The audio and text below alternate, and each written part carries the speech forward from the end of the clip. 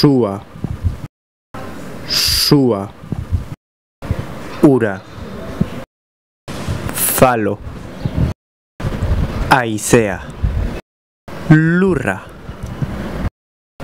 ura, Captain Planet.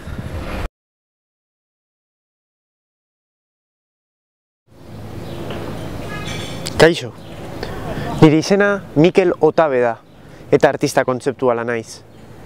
Parantonomazian aditua, nire obrarekin gizartaren konbentzioak hautsi eta kritikatu nahi ditut.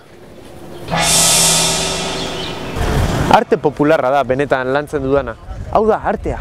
Artea hemen bere baitan dago. Ikusi, ikusi. Artea. Artea.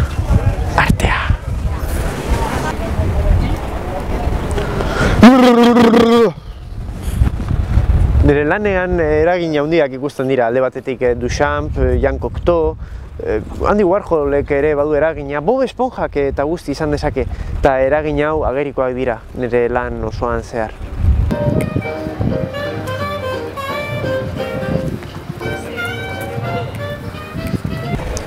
Nire artearen atali garrantzitsuena natura da.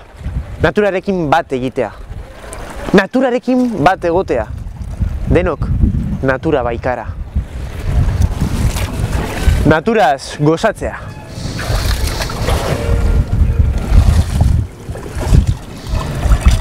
Artista, Txipiron.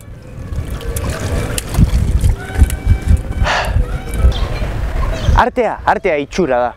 Artea gezurrutza da. Egia esaten duen guzurra.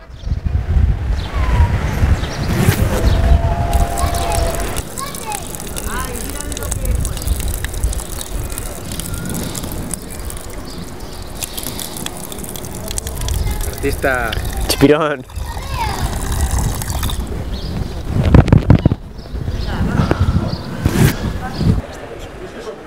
Artea gure desioak eta pasioak islatzeko bidea da, kontsumismoko mundu hau baztertuz.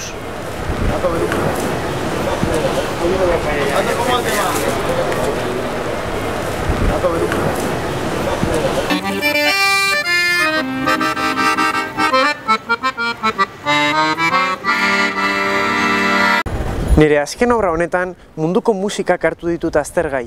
Munduko musika guztiak hartu eta guztion nortasun bat lortu nahi izan dut instrumentu bakar batean sortuz. Eta hemen zeukat neure lanaren zati bat urteak eman ditut hau egiten. Zeuentzako pieza bat.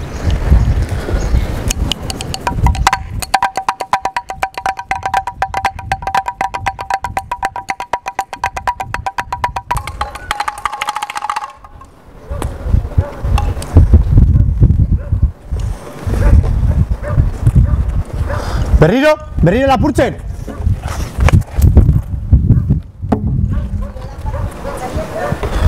Una y otra vez, qué casualidad, yo quiero volar. Hene, batzuk ez dute nire arte ulertzen, eh? Jala, hostia.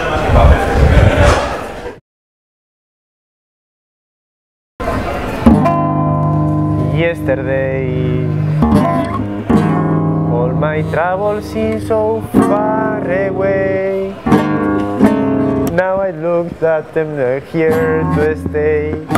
Oh, I believe in yesterday